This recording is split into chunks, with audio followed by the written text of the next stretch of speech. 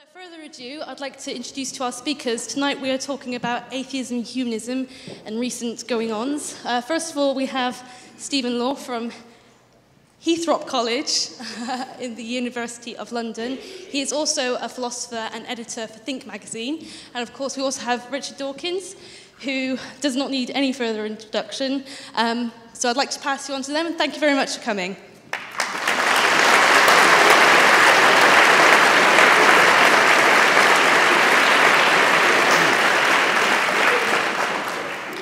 Okay, can you hear me okay? Yeah, pretty good? Okay. Um, so um, the, we're going to have a conversation. I'll be asking Richard questions and he can come back at me as we, as we go along. Um, we'll, we'll talk for maybe 45 minutes or so and then there'll be 45 minutes, roughly 45 minutes for Q&A. You can ask either one of us a question and there's a roving, a roving microphone. So um, I'll begin by um, asking Richard a question. Okay. Um, I'm a philosopher. I'm very interested in science and reason. I've worked a lot in the, in the field of philosophy of religion. I've published papers in the philosophy of religion. But I've also become very interested in other beliefs of a, of a supernatural and paranormal nature. And I find that when I have conversations with people um, about these kinds of topic, and when people begin to feel that perhaps what they believe is being threatened in some way, that science and or reason is beginning to encroach on their territory and perhaps is beginning to threaten the credibility of what they believe, that all sorts of smoke screens and maneuvers are wheeled out. And one of, one of the one that was, was given to me just very recently, this week, a couple of days ago, when, when we were talking about what happens to us when we die, um, somebody accused me of being arrogant and prideful uh, for suggesting that you know I might have a quite a good quite a good idea about what happens to us when we die. Um, phrases like, well, there are more things in heaven and earth than are dreamt of in your philosophy uh, tend to be wheeled out. And there is a suggestion that really I should be showing a little bit of humility and acknowledging that, you know, there are great mysteries out there and that I'm just a mere human being and that I should just take a step back and uh, acknowledge that these are things that I can't truly understand. And I was, I was wondering, how do you, that's obviously very irritating, but I was wondering, what, what, what's a good response to that? And do you think there's any truth to it at all? That quotation from, from Hamlet, uh, I was told the other day by a scholar of English, we some, it, it may be that, that we get it wrong, uh, and it, it's normally read, there are more things in heaven and earth, Horatio, than are dreamt of in your philosophy. Right. Um, it, the suggestion is that, the, that Shakespeare's intention was there are more things in heaven and earth, Horatio, than are dreamt of in your philosophy, where, where it's just a kind of yup. It just means philosophy uh, generally, but that's, a, that's a, an aside. Um, yes, it, it's obviously a thing that I very often meet. Um, the lesson of history is that uh, we should never be so arrogant as to think that present day science is it, that present day science knows everything uh, and that there's nothing more to be discovered.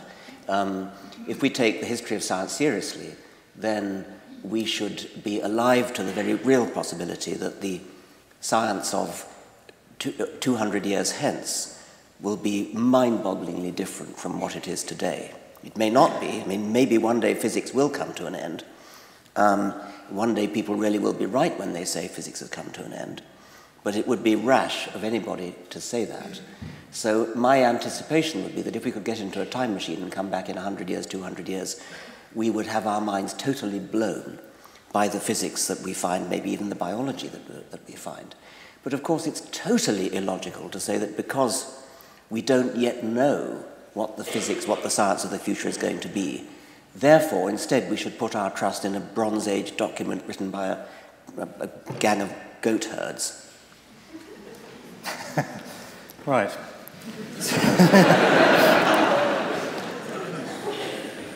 I mean, it's going to be grand, it's going to be wonderful, but Yeah. it's not going to be anything like what any religion has ever said. What, I mean, what, what's happening here, in part, is that a barrier is being erected. It's as if a, a veil is being drawn across reality, And we're told that uh, scientists such as yourself can, can go up to the veil, and that that's your proper province, the, the natural world, the observable world. But there's stuff behind the veil. There, Yeah. there are fairies back there, and goblins, Yeah. or ghosts, or gods, or whatever it might happen to be, psychic powers perhaps. That's a And slightly different point, and, and, and that's another point that we, that we often meet, of course, that, that, that, that there, is this, there is this veil, and somehow um, religion or superstition has a kind of territory um, Yes. which belongs to it, which we can't encroach upon.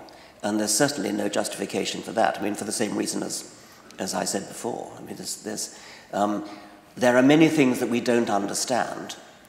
There are maybe things that we can never understand. But if there are things that science can never understand, then sure as hell nothing else can. You're not sympathetic to the view that some people might have a special ability to peek, if only dimly, through this veil. I mean, so psychics will say that, that they can communicate with the other side, that those that have passed over, and that they can then tell us perhaps what they're thinking, or there are mystics who can communicate or have some awareness of some greater reality. You're not, you're not persuaded, well, I'm, I'm assuming you're not persuaded that, there, that anyone might have such an ability to glimpse something on the other side that science is necessarily incapable of touching. I, I, wouldn't talk about another side. What I would say is that there are plenty of things which poets, mystics, um, artists um, can talk about, which science has, has no particular insight into. So um, I love poetry and um, I love even mystical poetry. Um, and um, I, I get a, an, an emotional response to it, just as I do to music. Um, and uh, so that, that in, in, in one sense, is, is outside the territory of science, but in a rather trivial sense. Yeah. Um, it, it doesn't mean that there's something that is in principle incomprehensible to science. It just means that, um, that it's too complicated, it's too difficult, it, it involves too much uh, complicated brain stuff, which, we, which we're not yet in a position to understand from a scientific uh, point of view. Yeah, I mean, I'm, I mean, the thing about what's behind the barrier is although it may not be observable by us, I mean, claims about the unobserved often have observable consequences. So we're in a position to refute claims about the unobserved. Yeah, what, despite like, the what, what would those be? What would those observable consequences be? Well, if it's a claim about psychic powers, for example. Um, Oh, well, well we can test that. Or the dead Yeah. communicating with us Yeah, in we some can way. test that. All of these things are actually potentially testable. Yes. Um, so it's not as if these things are immune to No, that's true. I mean, if- if people- parapsychology, it seems to me, actually can be a perfectly valid Indeed. scientific And, enterprise. and that, that's interesting because the, these things are testable. And um, uh, funnily enough, uh, the, the people best qualified to test them are often not scientists but conjurers. Yes. Um, because they can see through the tricks Yeah. uh, which people like psychics are, are, are pulling. Right. Let me ask you about um, some scientific investigation into um, unusual mental states. Um, there was a little while ago, some time ago now, um, a, a chap called Persinger developed, Oh, some- yeah. developed something called, which has come to be known as the God helmet. Um, it's a helmet which you put on your head and which uh, creates a, fairly weak magnetic field. And the suggestion is that when you put on this helmet, some people have some interesting psychological states, some interesting experiences. Some people feel that there's some kind of presence in the room with them, and a small number of people um, claim that they're experiencing God whilst wearing the helmet. Now, I believe that you have worn, well, I know that you have worn the God helmet. Um, and I was wondering if you could tell us a little bit about um, what that was like. The, it, I think it was the BBC, it was a television company, I think it was the BBC, flew me out to Canada um, to Dr. Persinger's lab um, to test it. It wasn't a very good test, it was just me and the control was a local vicar. And um, uh, the helmet, it's a modified motorcycle helmet, uh, and um, it does indeed pass a electric, I mean, a magnetic field through your brain. Um, you sit in a totally dark room, totally silent, it's all soundproofed for an hour. And um, uh, I think I probably drifted off to sleep. I'm not, I'm not sure, but, but Right. um, um, afterwards, um, I was given. I mean, nothing happened. I didn't get any. I didn't get any experience. I was greatly looking forward to it. I was hoping for some kind of mystical experience. Um, I did not expect to see God. I mean, what I'd read about it before was that when people do see God under the Persinger helmet, the God that they see is the God they've been brought up with. Right. So if they're Roman Catholic, what they see is Virgin Mary's. Um, and if they're um, Protestants, they see a different kind of God. If they're Muslims, they see Allah or Muhammad or something. Um, I wasn't expecting to see any gods, but I was hoping for some kind of oneness with the universe and, and that, that kind of thing, like going on a drug trip. Um, my friend Susan Blackmore actually testified that the Persinger helmet was even better than LSD. And, uh, um, well, I've, I've never taken LSD. Um, I've been offered a trip, which I'm still debating whether to, whether to accept. Um, Anyway, I, I experienced nothing, and I came out, and Dr. Persinger had been analysing my EEG rhythms while this was going on.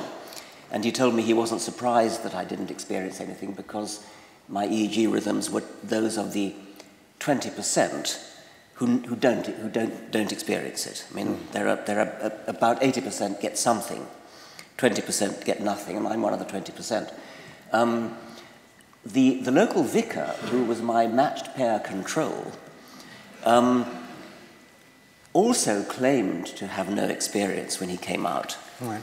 But Dr. Persinger's EEG analysis showed that he was right in the extreme of the 80%. He was, he was a prime um, sub- subject. Um, and what seemed to have happened is that as soon as he started to get the experience, he started to fill his mind with something else. It was though he was reciting the multiplication tables or something like that in order to distract himself. It was as though he desperately did not want to have a religious experience induced by a magnetic field. I don't know why not, No. but that was the evidence. Well, I, that, that was my next question, really. I mean, I think some people fear that if that kind of experience could be produced you know, in, a, in, a, in a purely natural way, that that somehow discredits the experience. I mean, I've had a number of people working in the area who are theists um, saying that, of course, this in no way undermines religious, you know, the claim that some religious experiences are reliable.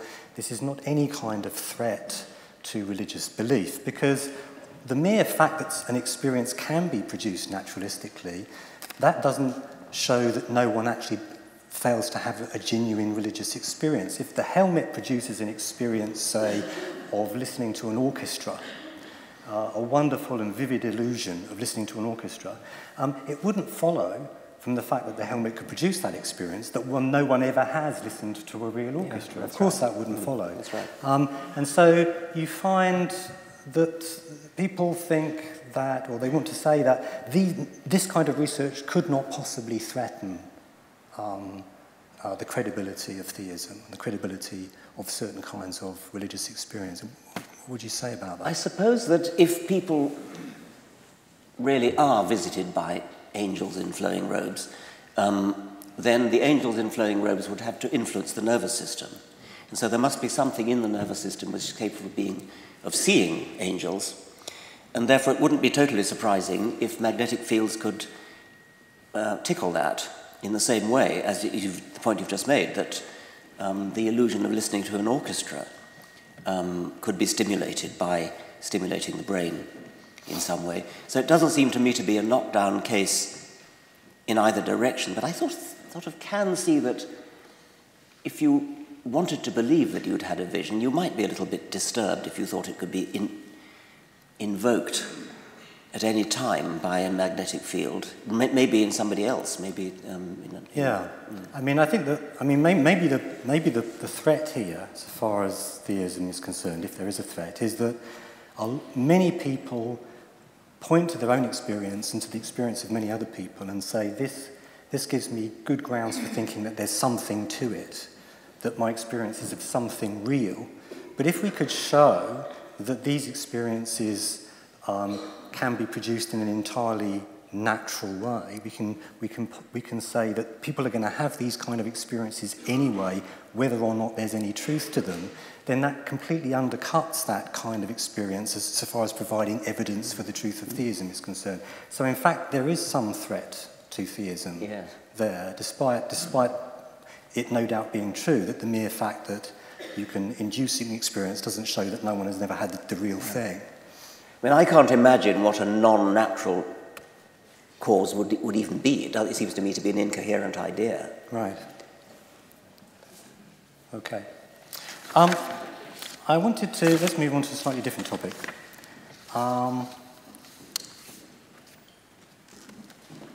and that's, which, which I've, I've got an interest in. I, I wrote a book a little while ago about um, faith schools and um, moral and religious education. And I know that you, you very much dislike the idea that children should be labelled a Catholic or a Jew or a Muslim.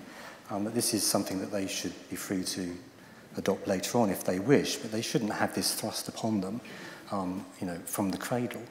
Um, I was wondering what, what's your view about religious schools? I'm sure that you don't think they should be state funded, but do you think that the state should actually prevent there from being religious schools, or are you happy for there to be such schools in principle? Well, I suppose, I mean, I, I went to Anglican schools myself. Um, it, Anglican schools are pretty mild on the whole, they don't thrust it down your throat. Um, as you've correctly said, the thing I really, really object to is labelling children. Um, and you can very quickly get people to see the point if you imagine that um, children inherited the, their, the philosophical views of their parents, and you, and you talked about a postmodernist child, or an existentialist child, or a Marxist Leninist child, or something like that. Mm. Um, and you, you laugh when, when anybody, anybody, says that, nor would you talk about an, an, ornithologist child or something, unless the child happened to be interested in birds, which I hope it would be. Um, but religion is the one exception. Right. And, and until it's pointed out to people, they immediately um, have, have no problem with talking about Catholic children. Two year old Catholic child um, and it's because we all buy into the actually ludicrous idea that a child is, is as likely to inherit or should inherit the religious beliefs of its parents in the same kind of ways it inherits the eye colour um, or, the, or the hair colour. Um, so somehow religion has got itself into this privileged position of being regarded as hereditary in a way that uh, no other um, philosophical view is. And so any, any faith school which actually tells children, you are a Catholic child, therefore this is what you believe, that does seem to me to be wicked. Um, uh, on the other hand, a school that teaches religion, uh, teaches about religion, teaches children there are things called religions, and there's the Christian religion, and the Muslim religion, and the Jewish religion, the Buddhist religion, the Hindu religion. And this is what they believe, and there are subdivisions of them, and this is, this is what they believe. Um, that is sensible, that's what should be taught, mm. uh, because you can't function in the world today unless you know about these different beliefs that pervade different parts of the world, any more than you can function without, without knowing that um, Venezuela is in South America. Yeah. I mean, um, so I, I, think that that's important. So I, I wouldn't wish to, to ban religious education, far from it. Right. What about a school that um, it describes itself as a Christian school, and it says this is our Christian ethos, and we want children to really be immersed within Christianity, but we encourage every child to think independently and critically about these ideas and these beliefs, and we want every child to know that it is their free choice whether they accept them or not? I mean, how comfortable that- or uncomfortable yeah. would you be I- with a... if, if, that, if they really lived up to that, I, I think I, would be, I would be comfortable with that. Right. I mean, it. I so would I. In fact, Mm. I mean, I think I think probably what I really have a problem with is not is not religious schools at all. It's authoritarian Yeah. schools. I mean, if if schools started opening up and down the country that were political schools, um, Yes, co- exactly, the yeah. Marxist schools Yeah. and neoconservative schools, and if each day started with a rousing political anthem, and if the schools selected on the basis of the parents' political beliefs, and if there was portraits of political leaders beaming down from the classroom walls, and if each day had involved some learning of the political tenets of the, uh, Yeah. you know, some doctrine, uh, we would all be outraged. I mean, that, you've hit the nail on the head. That's exactly right. Now, if you just cross out political and write Yeah, religious, you'll yeah, find there are schools like that up and down the country. And those are the, those, now, those are the schools that I would have a problem with. But I had just as much a problem with the political equivalent. It's not so much the But there, but there isn't a political equivalent. That's the point. Right. Yeah, um, I mean, and, and that's the that's the exactly the point you've made. That if there were schools that, that taught a political ideology, um, or an ideology in literary criticism or something, um, then then you would object to it, and so would everybody else. But but but because it's religion, it doesn't get the same objection. Right. Because, the, I mean, those political schools are exactly the kind of schools that you would find under totalitarian regimes, and we would point to them and say, oh, I certainly wouldn't want my child brought up in a school Yeah. like that. And we can all, we can all see that. It's, it seems to me that the, really then the problem is not so much religion as that kind of authoritarian illiberal approach. I mean, if you were given the option of getting rid of all authoritarian schools, schools that had that flavour, and getting rid of, rid of all religious schools, you, you wouldn't blink. You'd get rid of the, the authoritarian schools. That's what you- yes. that's really what you object to. Yes, it is, but they don't exist. The religious no, ones do. yeah. yes, not here anyway. Uh, yes. Yeah, okay. yeah. Okay.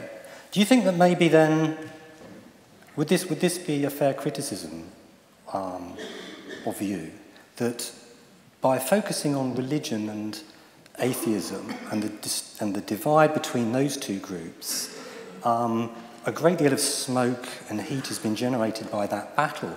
But actually, there are people on the, on, who are religious who actually have far more in common with you in terms of being liberal, in terms of being anti authoritarian, um, with whom you could make some kind of an alliance against the Stalins of this world who are highly totalitarian and illiberal and authoritarian, uh, but also the, the, the religious Yes. uh, zealots who are totalitarian. We, we've, we've, we've, we've lost sight of the more important battle because we've become so fixated on the issue about religion and atheism. Do you think there's any truth to that? I mean, the, the British Humanist Association's um, campaign against faith schools is actually led by a rabbi.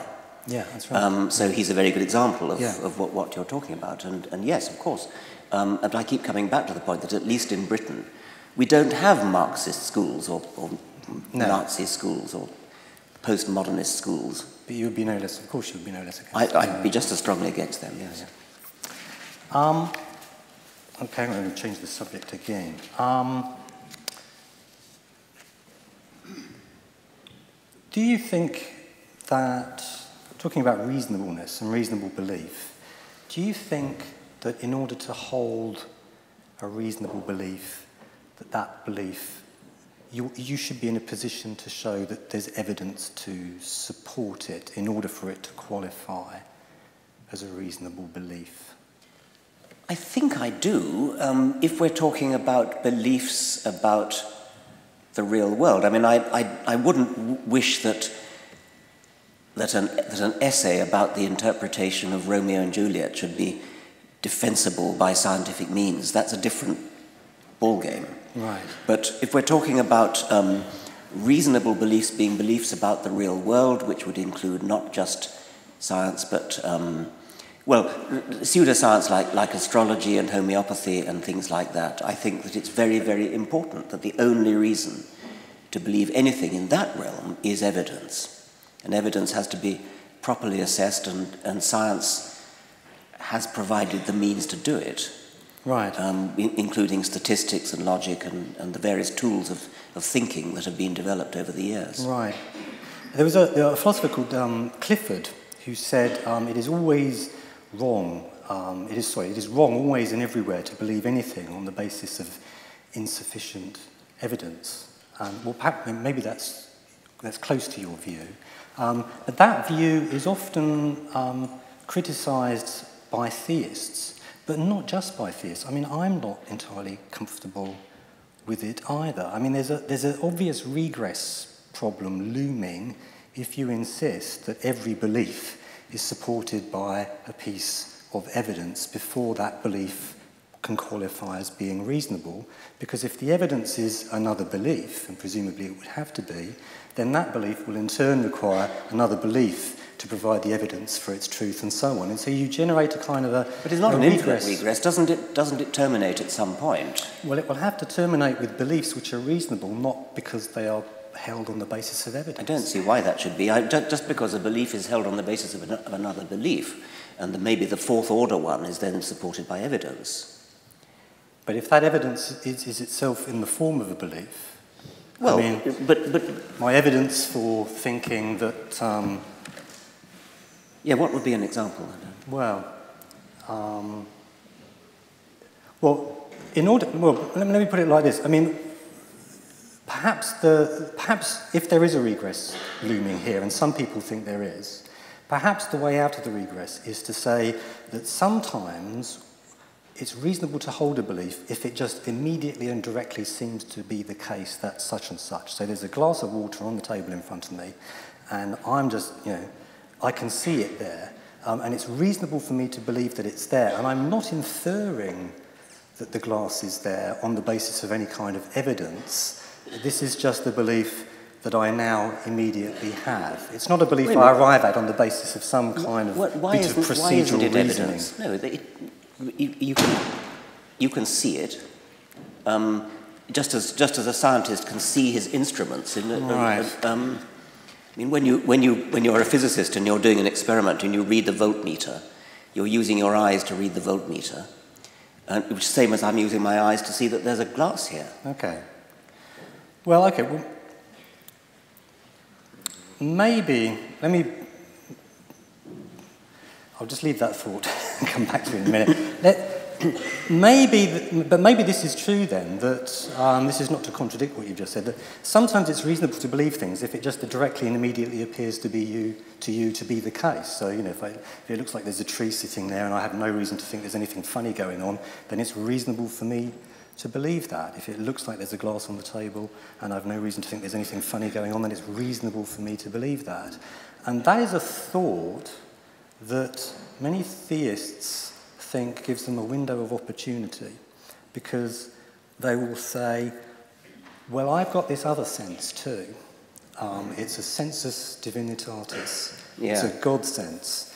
And if it's reasonable for me to believe that there's a glass of water on the table because that's how it just directly and immediately looks to me, And that is a reasonable belief for me to hold on the basis of how things very clearly appear to be. Then if it very clearly appears to me that there's a God and he's making himself known to me in some direct and immediate fashion, then it's entirely reasonable for me to believe that there is a God. Well, yes. Um, I suppose what a scientist would say to that is that the belief that there's a glass on the table is publicly available, and it's not just my eyes; it's everybody else's eyes. Um, you can do you can do measurements, you yeah. can do all sorts of other things. Mm. So this is something that is um, cross-checkable with lots of other forms of evidence. Whereas if I just say, I privately believe, um, I have it in my, I, I privately experience God, and that really is no more to be trusted because it's private than the person who says, I, I know in my heart that I'm Napoleon. I mean, you know, lunatic asylums are full of people hmm. who have these private beliefs, and we lock them up. Um, because if, if there was some way in which it could be publicly checkable uh, by, by lots of other people and yeah. different methods that they are in fact Napoleon, um, then it would be different. But it, since it's private, um, as I say, we lock them up. Um, and you, we don't do that with people who say that they've had experience of God. Right. I mean, I think, yeah, you're right. It's not, it's not, intersubject, it's not intersubjectively checkable, um, that no. particular experience. Um, and also, we know that people have a great many such experiences and that very many of them must be unreliable because they, they contradict each other very yes. often. They have different kinds of God experience. Yes. And we also know that they are very much a product of um, uh, the power of suggestion to a very large extent. I mean, just in the same way that um, reports of alien abduction tend to stop at certain national borders, so the Mexican border, for example, you don't find many people being abducted below that. So certain religious experiences tend to stop at certain yes. borders. They are a product of yeah the power of suggestion, yeah. of culture, yeah. and so on. And once you know that that is largely responsible for producing these kind of experiences, that surely throws all of them into very significant doubt. So even if you think you're having a good experience right now, you have good grounds for questioning whether that is actually Indeed, a reliable yes. experience. I mean, the, the, uh, you, you, haven't raised this point, but it's a point people often do, do raise that, um, that, that, that, you know, I know that my wife loves me, you know that your wife yeah, loves you, and things like that. Um, as though that were not based on, ev- on evidence. And of course, it is based on evidence. It's based upon yeah. all sorts of little signs and traces and looks and catches in the voice and things like that, yeah. um, which, are, which are evidence. They're not meter readings, but, they, but they, they, are, they are evidence. And they're sometimes wrong. yes. um, how are we doing? I've got a little bit more time. I'm, um, I'm a philosopher, and um, I know that Richard um, is a little bit uh, skeptical about philosophy, the value um, of philosophy. I don't think we're quite, in, in his mind, in the same camp as the theologians. Philosophers. Well, no, I, I, don't, know why, I don't know why you think that actually. But, oh, really? Um, okay. Um, I mean, I, you're, you're, you're, right about theology. I mean, I, I, don't think theology is a subject at all. I mean, I, I, don't think it belongs in a university. Right. I mean, I do, I do think that, that theologians who study biblical history and, and biblical literature and things, I mean, that, that's a proper, proper subject, but those who study the theology of the transubstantiation or the incarnation or something, I mean, that is not a subject. However, philosophy does seem to me to be a subject, so carry on. well, okay. I'm reassured. I thought. um, I mean, I think that. I, I think there are questions that reach beyond science, which um, are often, though not always, or at least in some cases, they are answerable other than by means of some kind of scientific investigation. And by, by me, pure thought, you mean by, by yeah? By, I mean, and uh, you know, here's a trivial example. You know, somebody might say, "Could my great grandmother's uncle's grandson fail to be my second cousin once removed?" Uh, now, you don't have to do any empirical research to figure that out. You just need to sit in your armchair with your eyes closed and have a good think and un- unpack the concepts and figure out the relations between the concepts, and then you can figure out whether or not it's whether or not it's true. Yes. So there's a kind of a, a role for conceptual investigation um, which can answer questions, and you're doing it from the comfort of your armchair without engaging in any kind of oh, of scientific and, yeah, but I mean, inquiry. It, it, I still call it science. I mean, that, that question about whether your great grandmother's second cousin and so on, that's something that you get out a pencil and paper and you draw it out. Uh, and you don't, admittedly, you don't do any experiments, of course you don't, but, but you do. Um, you, you do a, a scientific um, investigation in your head, and you're, you, you're more as defining philosophical investigation as one that you do in your armchair. But plenty of well, good science goes on in armchairs. Right. I mean, there are some very famous scientific thought experiments, aren't there? There's the um, Galileo and his two, two balls. Um, there was the. I'm sorry. Oh dear. It's that, it's that sort of audience, right? The, um, so there was the Aristotelian view was that, um, um, that uh, had the consequence that the heavier ball should fall yeah. faster than the lighter ball. And Galileo is supposed to have gone to the top of the Leaning Tower of Pisa and thrown the big ball and the small ball off um, the top of the tower. Um, but actually, it's not clear that he ever did that. And, not, and nor is it clear that it was necessary. And nor is it clear that it's necessary, yeah. because um, actually you can run a thought experiment, can't you? You can uh, which is what Galileo did. He said, well, if you, if you, if you, if you suppose we chain the two balls uh, together and then we apply Aristotle's theory. Now, the two balls chained together makes an even heavier object, so it should fall even faster now. Uh, but, hang on, the smaller ball um, will also, being smaller, function as a brake on the larger ball, being now connected to it. And so the two balls Yeah. should fall more slowly Yes. than they did independently. And so you generate a contradiction.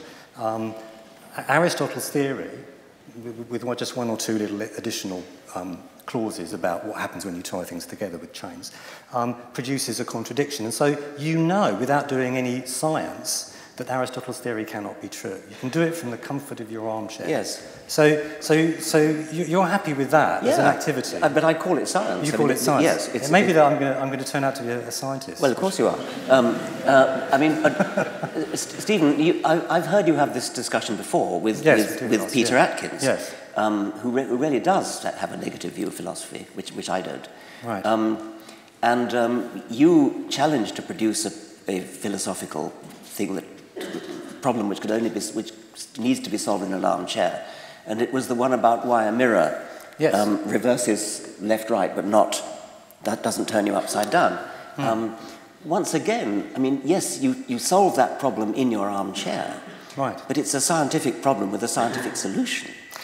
Well, you know what? See, Ned Block wrote a paper on that question. He's a philosopher, and the journal that published it was the Journal of Philosophy, very prestigious philosophy journal. My guess is that if you'd sent it to Nature, they would not have published it. They would have said, Why have you sent this to us? There's no empirical content here. this is just. uh, no, they might not. I- don't think they'd have rejected it because there's no empirical content. I think they'd have rejected it because they, they'd have said it's a trivial problem. But it, that's. By, by the way, if you, if you want to know how to solve that, that, that problem, Hmm. The first step is to forget about mirrors and just get a, a sheet of glass, I mean, a, a glass door, Right. a, a shop door that has open written there. And you go around the other side and it says Nepo.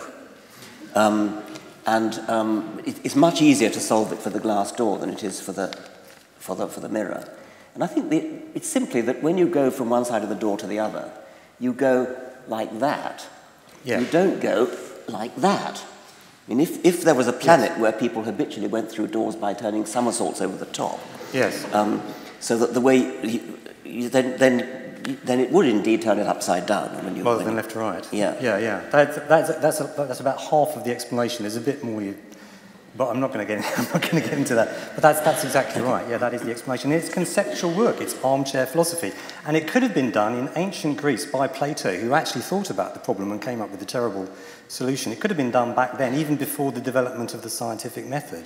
I mean, this was something that could have been solved from the comfort Well, of one's I, I think we're banding words here because, I mean, it seems to me that that's armchair science. Actually, Darwin could have been, I mean, Darwin's theory of natural selection could have been done in the, from the comfort of an armchair too. Aristotle could have done it, but he didn't. Um, but you don't actually need to go around the world on the Beagle. You don't need to go to Galapagos um, in order to solve the problem of natural selection. You could do it from an armchair.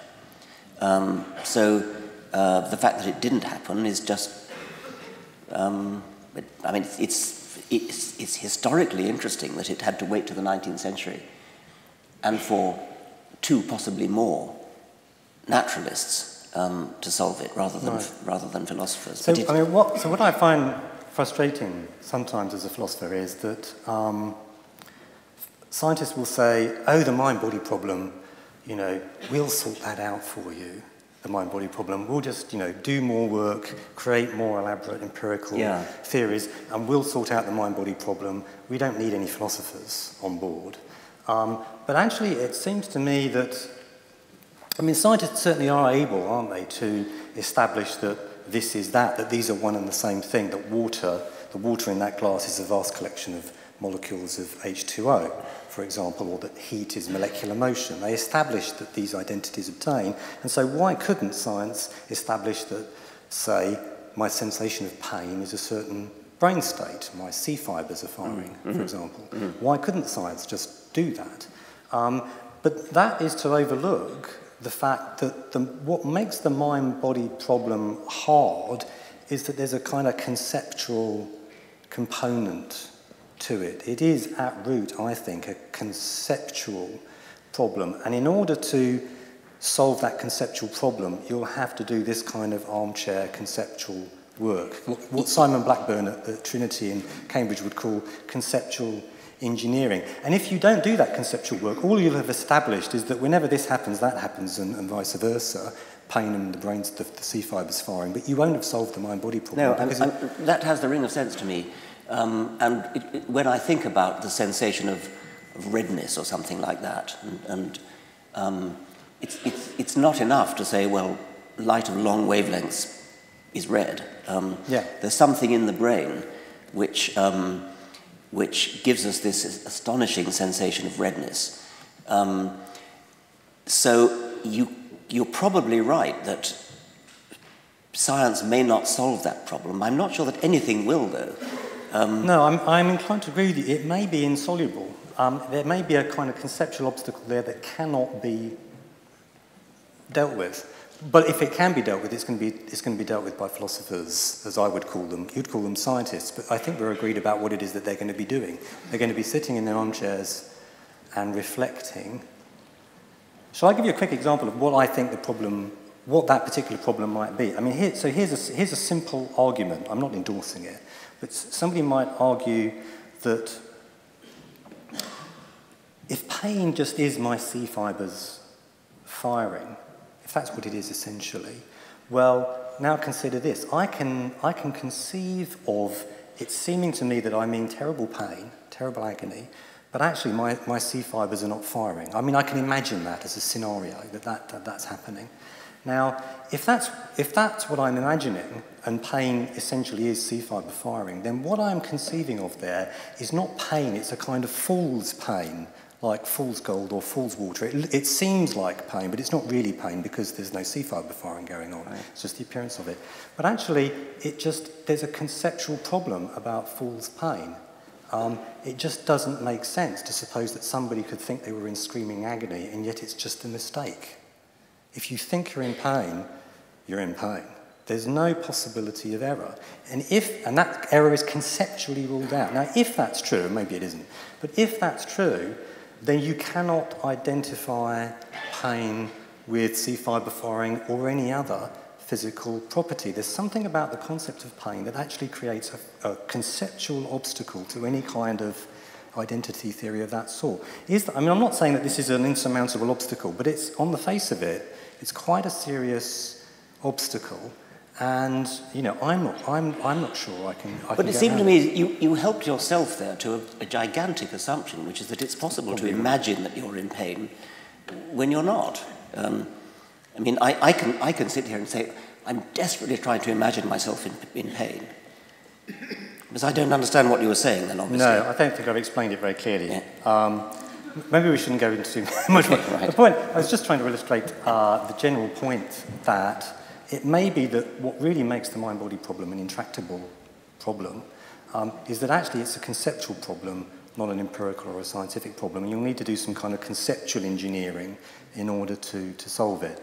Um, well, I'm all for conceptual engineering, and okay. scientists have to do it a lot. Right, good. We're on the same, on the same page. Um, how are we doing for time? I think that at this point we should probably yes. open up the floor to, yeah. to questions. Yeah. Okay. So all sorts of hands going up straight away. Luckily, I'm not the person. I just make sure my mic's working. Cool. Thank you. First of all, quick round of applause for the little discussion we had there.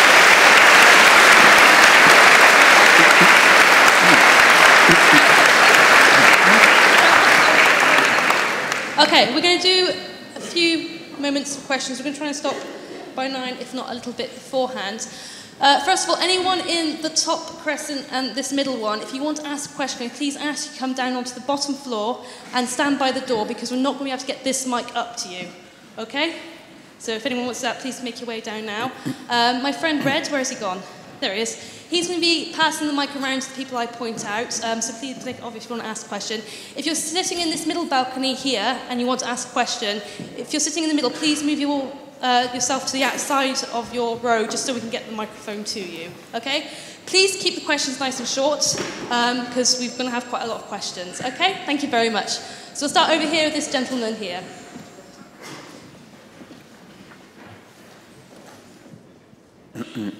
Thank you very much uh, for such an interesting conversation. Um, just uh, you, you touched briefly on this area during your conversation. Um, there's a lot of talk about the scientific method, um, and it seems to me that your idea of empirical investigation um, in terms of ascertaining the truth value of something harks back to a time maybe 100 years ago in which logical positivism was at the forefront of the philosophy of science. Um, it, philosophy of science has been plagued by problems of induction and, and actually what is the scientific method ever since. And I was just wondering uh, whether you could touch upon, for, there's a whole host perhaps of areas which uh, aren't open to such uh, investigation, and the, uh, the, the in- interviewer um, presented a couple. Maybe I could present a couple more. For example, the scientific method itself would seem resilient to scientific inquiry without being circular, or ethical values, for example, or the mathematical and logical laws. Okay, well, let, um, shall I take, um, take ethical um, questions um, and mathematical as well? I mean, um, mathematical truths are, are, are obtained by deduction. Uh, they, they follow, they're, they're inherent in the premises, and it's just a matter of doing clever mathematics in order to deduce them. Um, ethical principles, it doesn't seem to me, contrary to my friend Sam Harris, um, it doesn't seem to me that science has, at least certainly doesn't have the last word on that. that. Um, what science can do with ethics is to say if you, you believe that such and such is a good value, um, then you are illogical if at the same time you don't believe so and so is. You can, you can do good moral philosophy, which is scientific principles applied to, to morals. Um, you can do good moral philosophy to show up inconsistencies uh, in people's ethical views. You can say you, you are, you're being inconsistent if you, if you, on the one hand, are against abortion, but on the other hand, in favor of so and so or you can point out to people those inconsistencies. So I think there's, there's a lot that you can do with the scientific style of, of um, reasoning with, with ethics. But you cannot, with, by science alone, simply say X is wrong and that's all there is to it. Which religious people claim to be able to do, but without any basis, as far as I can see. No, that was a good answer. I have two questions, one for each of you. Uh, to Stephen, I mean, uh, you mentioned about you know the pain and other thing that in the mind someone feeling. fiber firing or whatever your preferred neurophysiological event might be. Ah, okay. yes. I, I I wonder whether what you are talking is about the psychiatric problem or people in depression who, you know, which falls under science. I mean, that's a question. I mean, I don't know whether what you define as pain and other things, the people affected by, you know, psychological problem do have similar thing. So is that not a science? And my question to uh, Dawkins uh, is, uh, okay, science, we, we know many things are there, you have discussed about that, but for an ordinary person uh, who, who don't have much education, or even with education, but you know, very normal person from different world, how we are going to approach, because they can't understand every high level science, whether it is physics or matter, whatever you talk about. I mean, maybe only a philosophical way of approach is possible, or I, I don't know. I'm just asking that question to you. How you are going to approach normal people? Okay, thank you. Thanks. There were two questions. Well, the first was to you, I think. Yes, I think, well, the first question I think was um, look, can't, uh, can't we have a scientific investigation of various mental phenomena such as depression and pain and so on? And the answer to that is yes, of course we can. Um, we can certainly have that. Um, but that's not to contradict anything that I said. um, what, I, what I was raising was, a, was what appears to be a, a conceptual obstacle to actually identifying mental states with brain states. Um, there does appear to be such a conceptual obstacle, but that's not to say that you can't scientifically investigate both what's going on in people's brains and also um, mental states. Uh, there's all sorts of research that can and is being, in, being done on both those things. I think the second question was about um, not everybody can understand science, and so what are we going to do about that? Um, that is a, a real problem, and, and um, as a biologist, I don't understand advanced modern physics, and I think what we have to do is that there's a kind of thing, it's a little bit akin to faith, but it's a bit different from, from faith. You say, I don't understand what physicists are talking about, but I know that physicists are subject to the discipline of the scientific method. I know that they're subject to the discipline of peer review in their papers. I know that if they do an experiment which, um, which is dodgy, that somebody else is going to come along and do the same experiment later and get a different uh, result. I know that there are other very clever physicists who are checking their mathematics. Um, so there is a kind of faith in one's fellow scientists, but it's a faith that's based upon evidence. It's based upon the knowledge that um, these two, in their own field of science, are using the same scientific method, the same criteria for judging uh, and, eva and evaluating the science.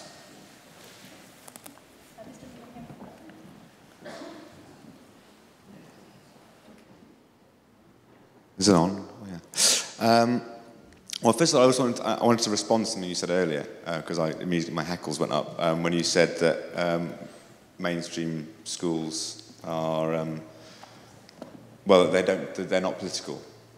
I think you, you said, there was no politics in, in the school system, or if, if politics was introduced in the school system, um, then would, you, would, you would get your backs up because uh, you're getting irate about religious schools. But I just wanted to point out that I've got a quick list of seven things that are not questioned at all in mainstream schools. Very quickly, uh, capitalism, hierarchical structures, first past the post democratic system, scientific rationalism, male dominant society, competitiveness uh, as a, the way of life compared, compared to cooperativeness, and um, bounded discourse and rational uh, discussion. So you can only have biology, physics. You can't have anything that crosses boundaries. Um, that was just a quick list of things that are inherently in there already. Um, oh, thank you. Um, and I, my question basically was that um, if you, you were talking about how um, scientists are bound by fellow scientists making rules and laws I feel that, like, at least the religious community have a similar kind of structure where they are expected to peer review each other. You know, people don't say, there's no sort of like, within the Catholic Church, you're not allowed to say crazy beliefs about things without being peer reviewed. Um, and I, my question really relied on um, thinking about the Higgs boson, which is that only a handful of people can actually identify whether the results that are, appear on screens are a Higgs boson or not a Higgs boson. And why is that specialization any more believable than the specialization of somebody who's been through seven or eight years of, of rigorous religious training and believes that they're talking to God. Thank you very much. Wow, there's a lot in that. Shall, shall I? Um, you, you, yeah. I'll start and you think. Okay. Okay. Um, well, I, I, I, very much endorsed your thought that um, we should be encouraging children to think about, all of those things. It seems to me it's terribly important. And in fact, in thinking about them, they would be doing philosophy. Um, so, you know, thumbs up, thumbs up to that. But that's not quite the same as saying that um, in schools, for example, all children are expected to sign up to capitalism and sing songs praising the capitalist regime and have images of uh, of famous capitalists staring down at them going thumbs up to capitalism and so on. I mean, that's not happening. Um, but if, your if, if your point is... That's in the print room at my, at my old college. Is there really? Okay. Well, I would take that down. um, so, yeah, the point we were making, I think, excuse me, was that um, the, there should, you know, we should not be um, taking a particular politi political philosophy and presenting it in that kind of way, using those kind of highly manipulative methods in order to try and get children to accept it.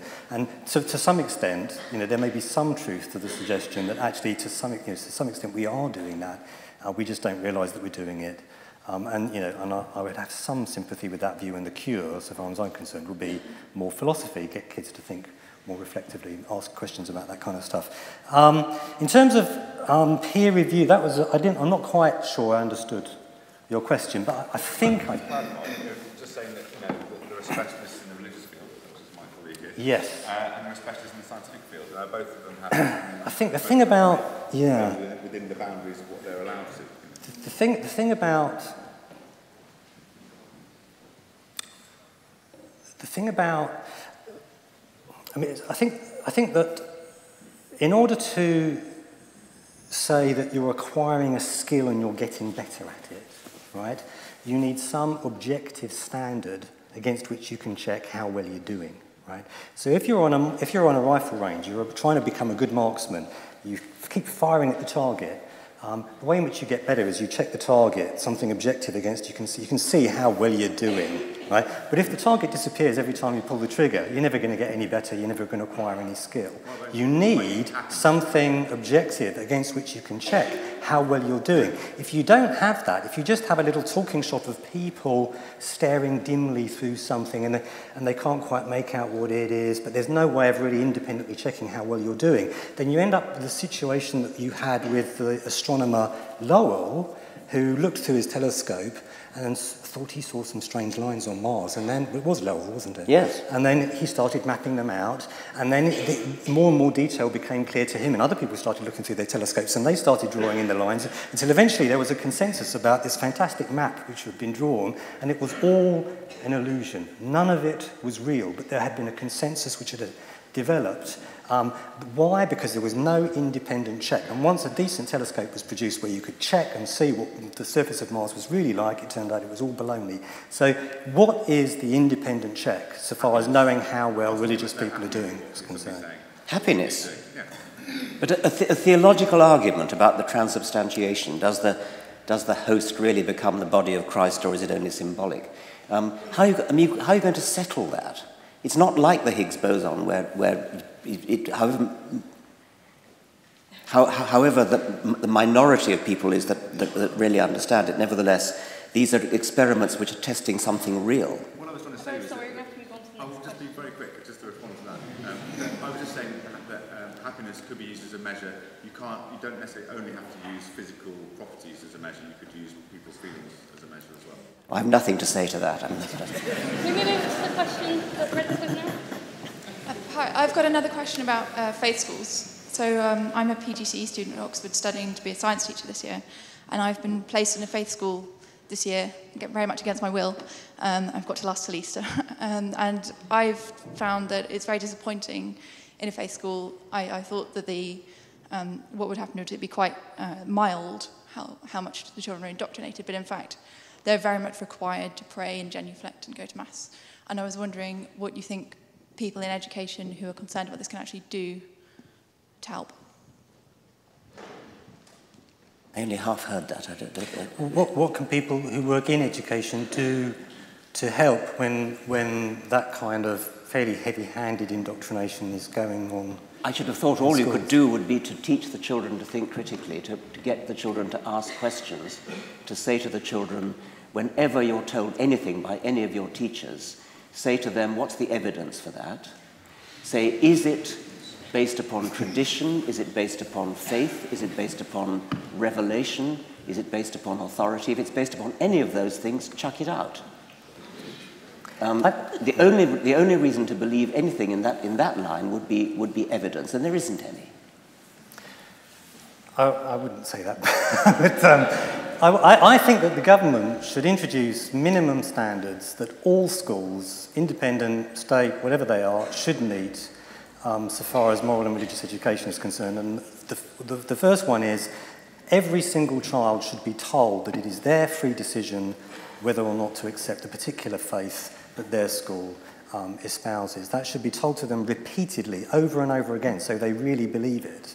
Um, they should also be presented with they should also be presented with a range of different faiths and also humanism humanism from people who actually hold those faiths. Because so very often, although you get a range of faiths being presented, it's the, the range of faiths is being presented by someone who's highly partisan. Um, and I know from experience that, you know, I, you know, I get invited into schools sometimes to talk, and I know from experience that um, you know, the, the, the chaplain or the rabbi will want to be in the room while I'm talking, just to hear everything I say, so that the minute I leave, it can all be rebutted. Um, it's, it's, not, it's not a level playing field, really. Um, there's a lot of control often that goes on in a slightly clandestine way. They are not, everyone likes to sign up to truth and reason and let's get the kids to think, but then they say, oh, but not too much and not too early. And all sorts of qualifications then come in. And that, that concerns me. So I, I think all schools should be encouraging kids to think and question, should be encouraging kids to think that it is their own free decision whether or not to sign up to these faiths. Having said that, I think there are lots and lots of religious people who would agree with that, and there are many religious schools that would happily embrace that philosophy. So this is not an attack on religious schools per se, it's just an attack on a certain style of religious school. Thank you, Dr. Dawkins, for coming out. Uh, I wrote down my question so I wouldn't like ramble like some of these people. Um, I recently watched your interview uh, with, Do- with Dr. Ben Stein, and um, when he asked you if intelligent design is possible, you said that it could be possible through some intelligent life force like aliens or something like that. Do you think that is a more probable explanation than evidence for God? And if so, what is your evidence? Why did you come to that conclusion? That's a very interesting I- event that happened. Um, I was interviewed by this man whom I later discovered was called Ben Stein. I'd never actually heard of him before. Um, I was invited to go on that program along with several other scientists, and we were told this was going to be an objective uh, discussion of the whole issue of intelligent design. We were not told that it was um, a propaganda exercise, which it turned out to be. Um, I was asked the question you said could I, could I imagine any circumstances in which life on this planet could be uh, intelligently designed?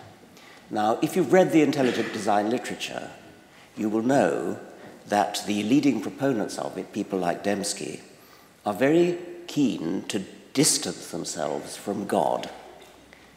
When they're talking to their own people, they talk about God all the time. But when they're talking about um, to, to scientists, they will say, We don't know who the designer is.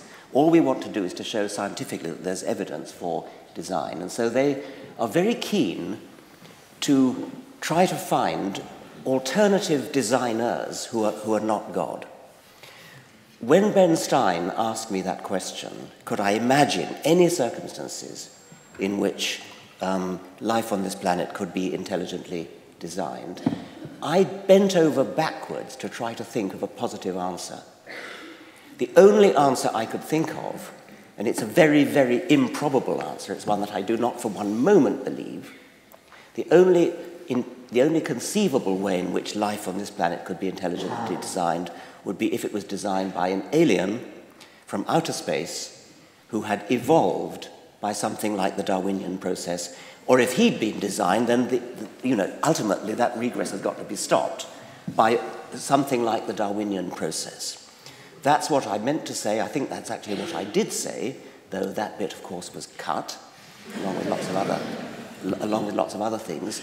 Ben Stein, when, when I had said it's highly improbable, but if you really, really twist my arm to try to think of a way in which life on this planet could be intelligently designed, if you twist my arm, then I will say possibly um, designed by some evolved life form, evolved life form on, an, on another planet. What did Ben Stein do? He cut out that bit. He said, Wait a minute. Dawkins believes in little green men. That's what went out with your friend Ben Stein.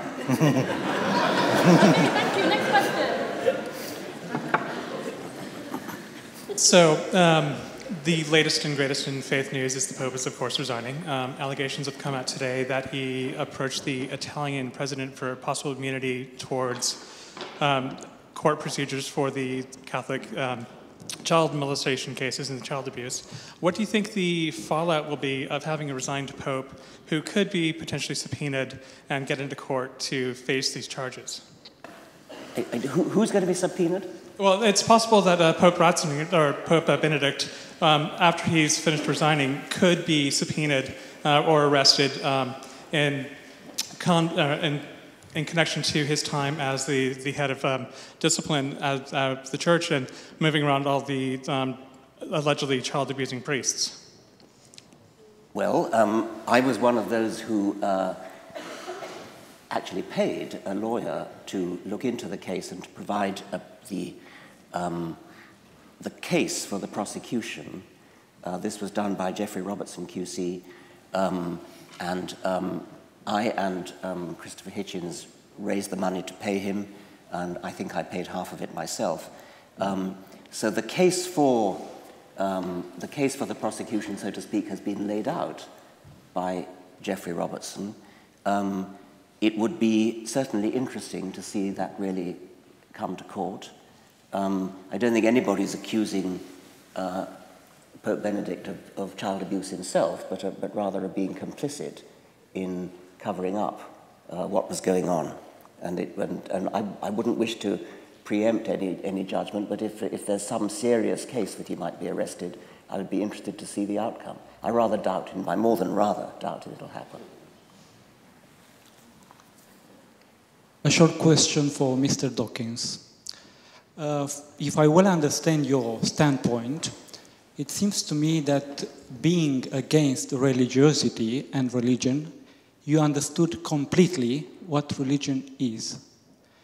If you understood that, it means that you know very well what religion is. So, can you please give me a definition of, of what religion is? And if you have it, I must tell you something that we who are in a precarious condition of being believers, we don't know what religion is. I studied a bit what religion is, but I didn't understand. Believers believe in revelation, in what it's given to them. Okay, thank you for that. And that's why I want you to, to tell to give me a definition because if it doesn't it doesn't have a clear understanding of what religion is, Okay. That uh, it should not be against religion. Thank you very much.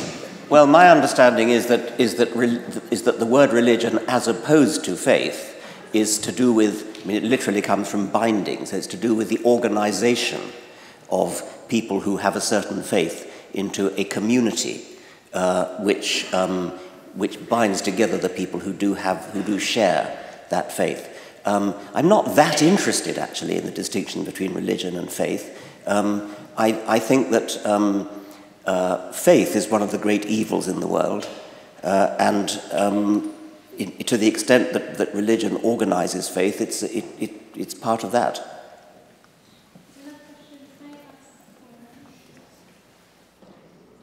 I just wanted to ask whether you saw there being an end point as such to this debate, and if so, is, is the ideal end point that there is no religion, or do you think it ever will end?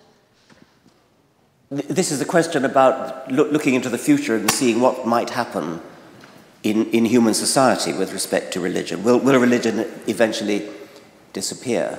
And you're not asking me what I hope, you're asking me what I expect. Well, Uh, per- perhaps both.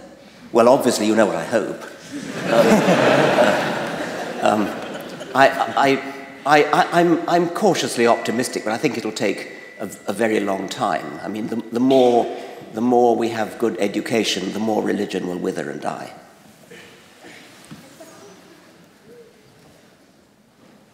Thank, you for everything. Uh, two years ago, I attended a conference in Stockholm, a conference which takes pla- place annually. Uh, It's a philosophy conference, you might know about it. And uh, the, it was a group of scientists from, from the States, I think, saying that they, they did genetics. And they had a very difficult moment, a crisis, and they couldn't go forward with the research.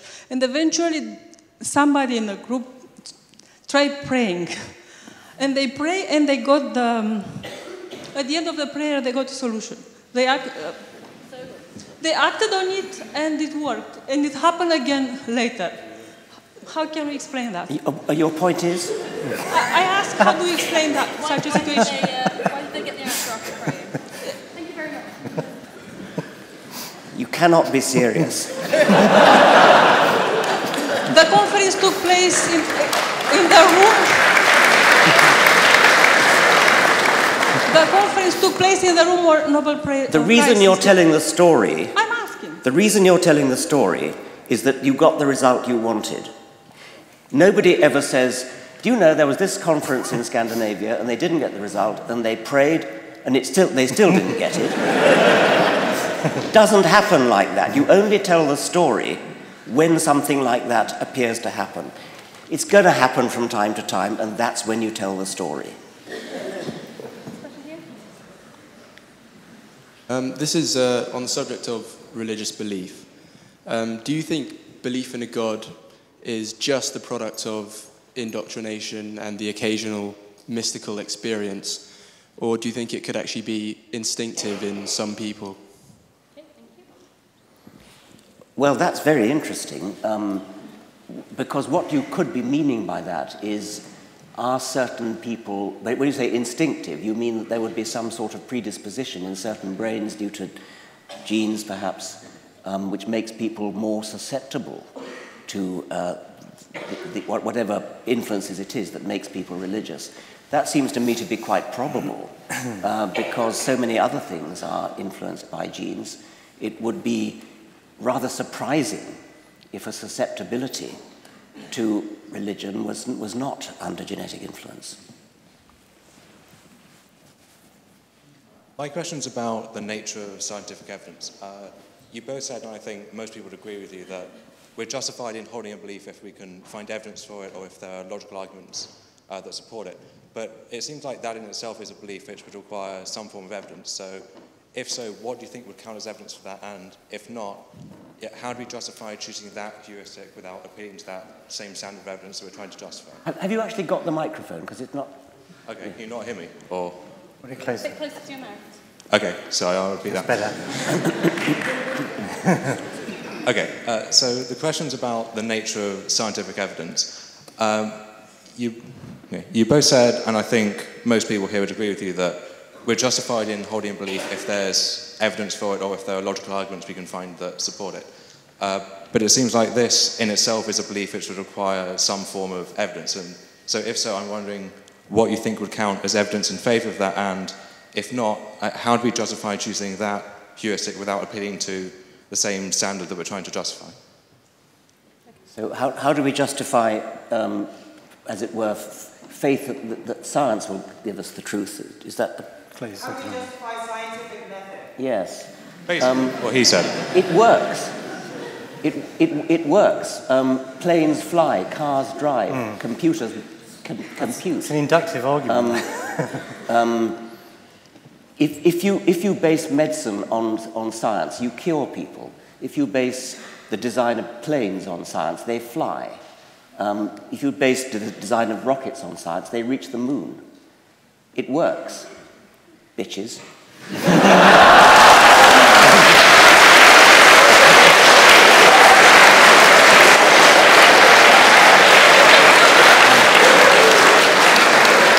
Can I, can I just,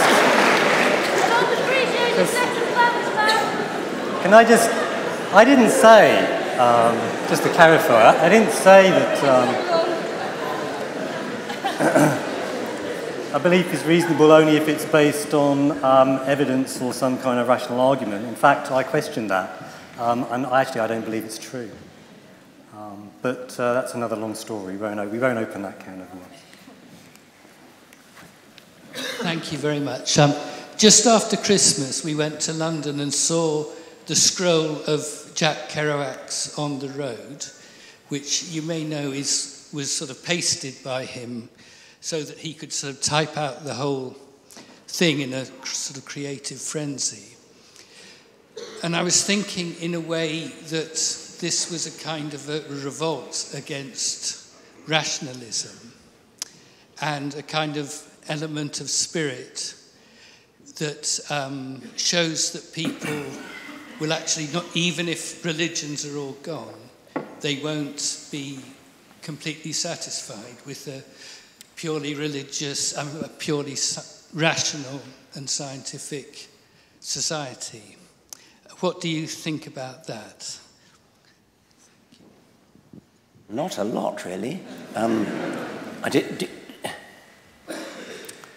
What? Um, I've got. Shall I say something in the Yes, please think? do, yeah. Um, you have a thing. Um, so, the, the last few questions, not yours quite so much actually, but there's a the way in which the conversation appears to be heading at this point is, the thoughts that appear to be raised are what I what I've called. Um, I, I wrote a book called. Um, I plugged my book. I wrote a book called Believing Bullshit. And in that book, there's a chapter called Going Nuclear. And going nuclear is a strategy that people employ in an argument when they suddenly realize that the tide of rationality is going against them.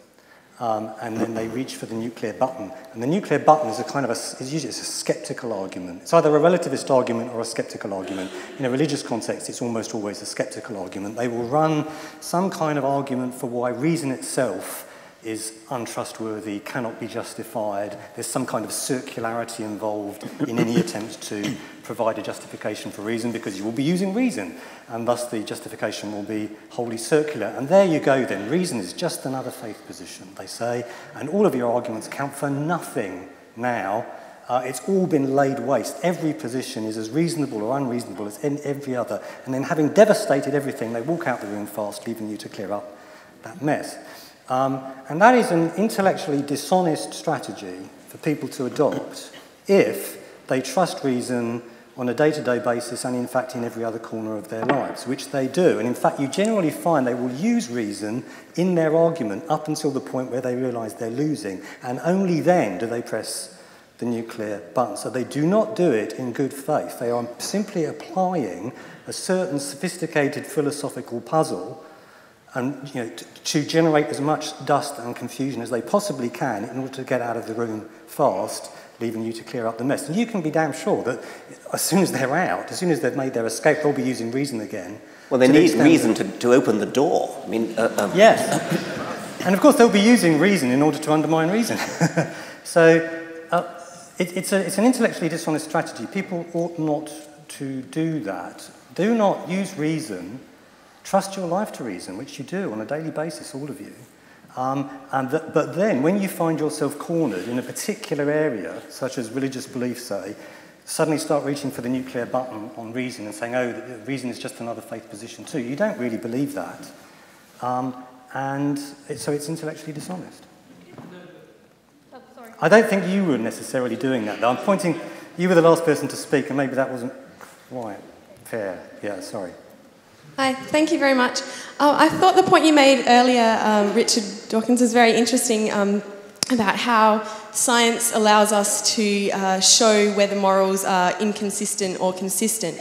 Um, but as our society and technologies are advancing, we're becoming um, more and more, I guess, scientifically caught up with ethics as well in uh, how, we, uh, how we progress. And I was just wondering, how do you personally determine the foundation for your morals and ethics when, uh, as you say, science can't tell us what is right or wrong at a fundamental level, it can only tell us what's consistent. And how do you think, as a society, we should be progressing with determining uh, what's acceptable or unacceptable, or what we should be placing our values um, and our energy and our time on as a, as a uh, society of people? Um, and if it's just based on feelings of what it feels okay for someone at the bottom line, you know, is that really justified and what does that really mean? Yes. Um, uh, um, Stephen will correct me if I'm wrong, but I think that the, the position that I would take in moral philosophy would be called consequentialism. That, that's a term, isn't it? Yeah, yeah. Um, so, um, to me, what, when, when when I'm faced with a, with a moral dilemma, I would ask a question like, who suffers? Or how can we increase happiness? And I wouldn't, and, and I would then have to ask subsidiary questions like, well, whose happiness are we talking about? Is it only human happiness? Or are we talking about the happiness of any sentient being? Uh, this is an interesting question which um, science bears upon because if you're talking about non-human, non-human animals, um, then a question like, do they have brains like ours? Do they, is it likely that they suffer in the same kind of way as we do? Um, have they evolved from the same sort of ancestors as we have? And the answer is, of course, yes.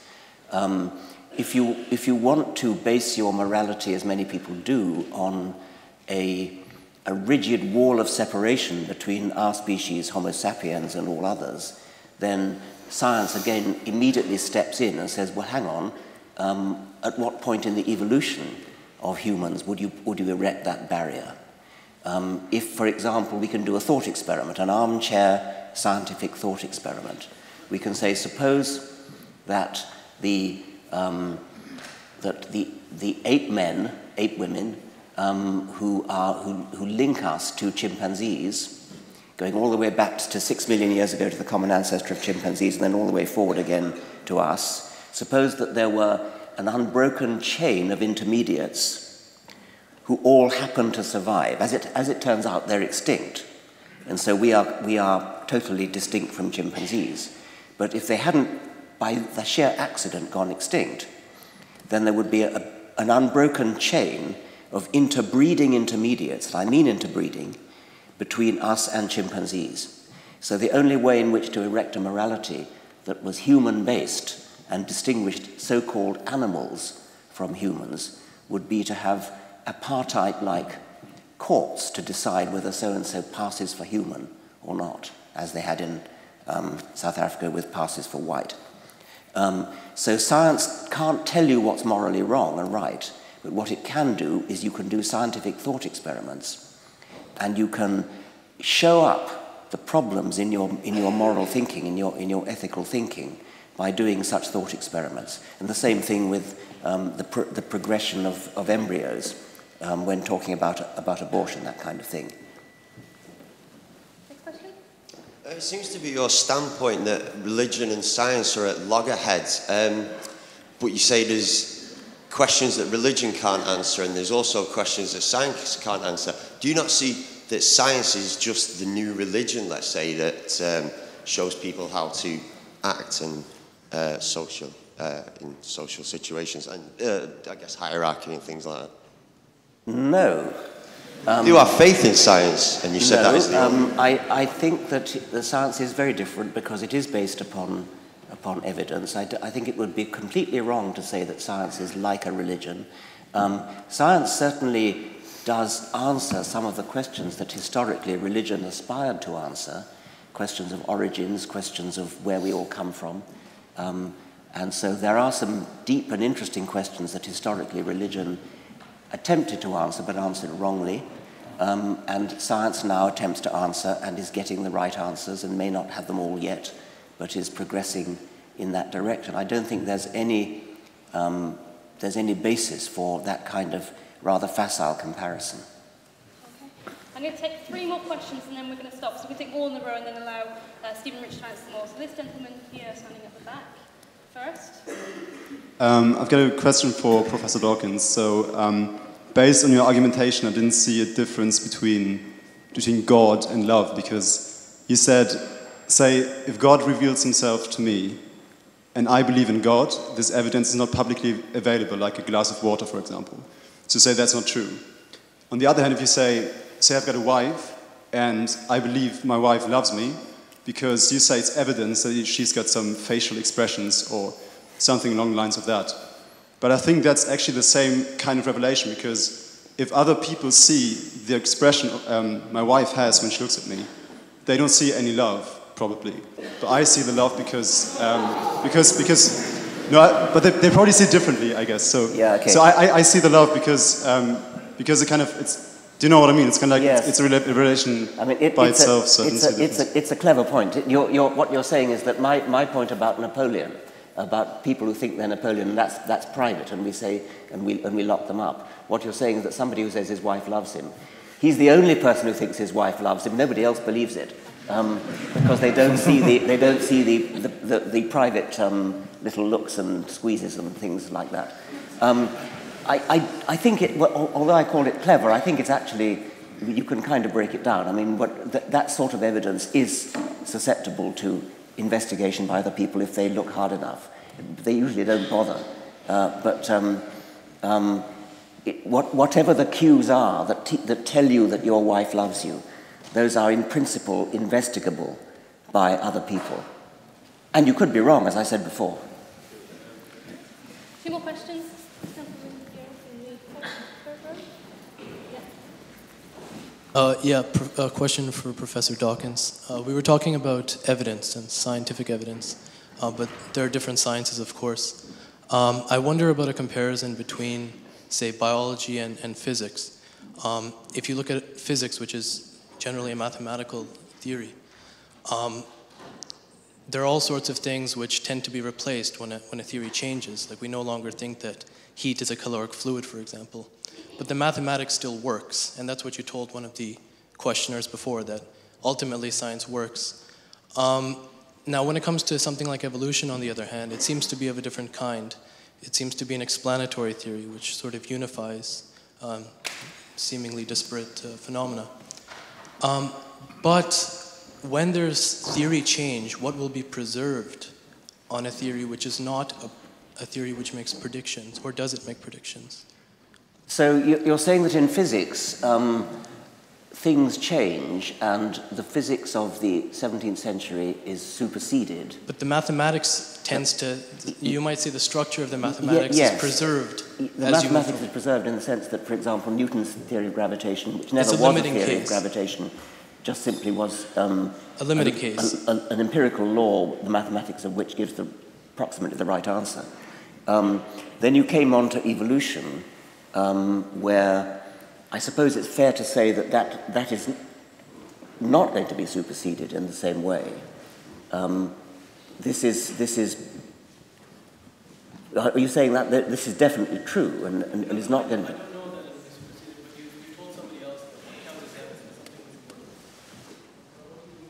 Oh, oh, oh, it makes, oh, sure it does, yes. I mean, um, admittedly, sorry? Yes. Um, the, the theory of evolution makes, makes predictions, certainly. Admittedly, in some cases, they're predictions about the past, but it's still a prediction that if you go and, if you go and dig up fossils, you will find that the fossils come in the right order, for, for, for instance. I mean, that's a, that's a prediction.